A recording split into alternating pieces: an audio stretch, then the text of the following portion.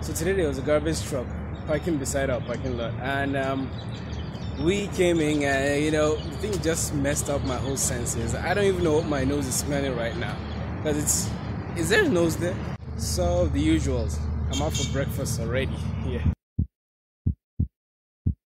I think I'm gonna go ahead and just start eating this. So there wasn't much to do at work today. My head was actually at home. I was just thinking of what to do when I reach home, and uh, I'm just gonna go continue editing my videos and writing my stuff. You know, I have a lot of things to do. But first, I work out.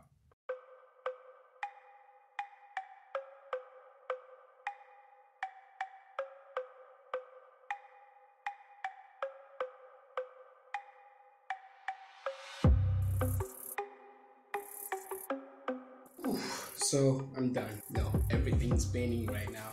Just need to go take a shower. Alright, I just want to share this quick tip with you guys about saving.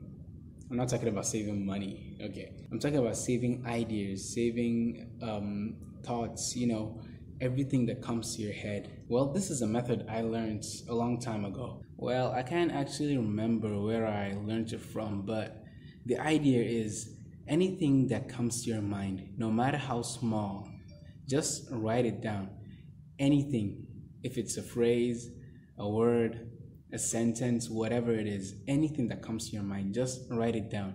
And now that we're in an advanced world, you know, you just use your phone, get your phone, type in whatever comes to your mind, like any idea you have, any innovative idea that comes to your head, any thought, you know, things that might work later. Just get your phone, type it down, and save it. Because sometimes we tend to rely on our minds and you know our heads are always kind of full with other things that we're thinking of.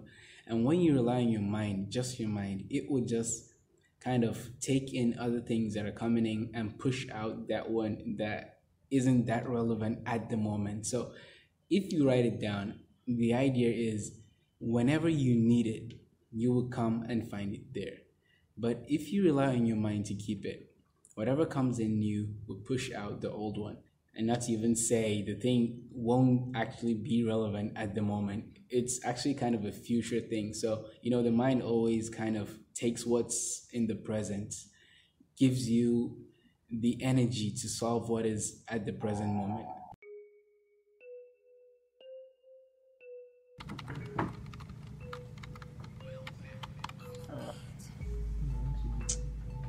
Just don't want to sound like I'm complaining, but I'm really, really tired. Like, I, I don't even feel like I can take myself home. I, I wish someone would just come and take me home.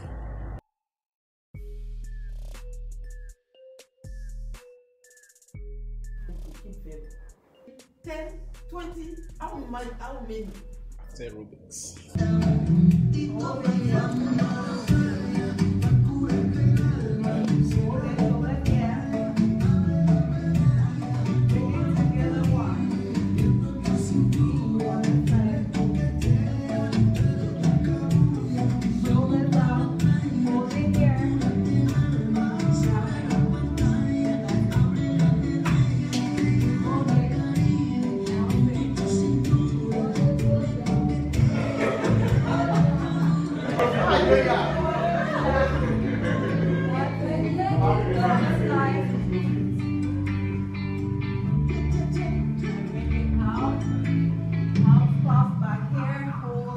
Also, I know we didn't have much time this week and I didn't post any task or anything. I was so, so, so overwhelmed with work in office and I actually didn't have time to do much on my own project. So I just came back from office right now and I think it's already past 10 and I know I haven't been able to do much this week. But luckily, anytime I get a free time, you know, even if it's just five to 10 minutes, I try my best to just go shoot a video, say something at least that someone might benefit from. But anyway, I'll just add with this thing that I've always kind of wanted to talk about. You know, it just came to my mind right now. Let me just try talking about this. In the kind of society we are, we are kind of raised to be normal, to just act like everyone else to always do what everyone else does, to always do what everyone else is doing. We are always raised with this kind of mindsets of following.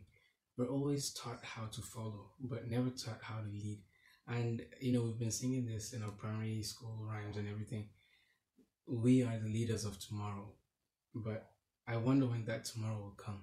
Because it's like we're still living in the day before yesterday. The problem here is we are taught from a very young age something that kind of destroys our whole self esteem and self confidence. And this thing is nothing other than limiting beliefs. So you grow up hearing, you cannot, you cannot, you cannot, and never you can, you can, you can. So that you cannot always goes into your mind and, you know, kind of take over everything. So you always have this mindset that if this is dangerous, I cannot. If this is risky, I cannot. That mindset sticks in your head. You have this belief that whatever other people do not do is dangerous for you and it's risky. So you cannot do that. In some cases, it is kind of forced on people. You know, people are forced to be normal. People are forced to, you know, do what everyone is doing. But given the chance and opportunity, there are a lot of people that will not do what other people do. You know, there are a lot of creative people out there.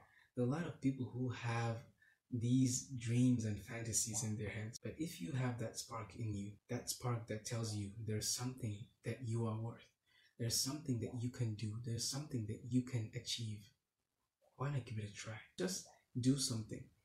Try something. Start small. You know, everything big starts small.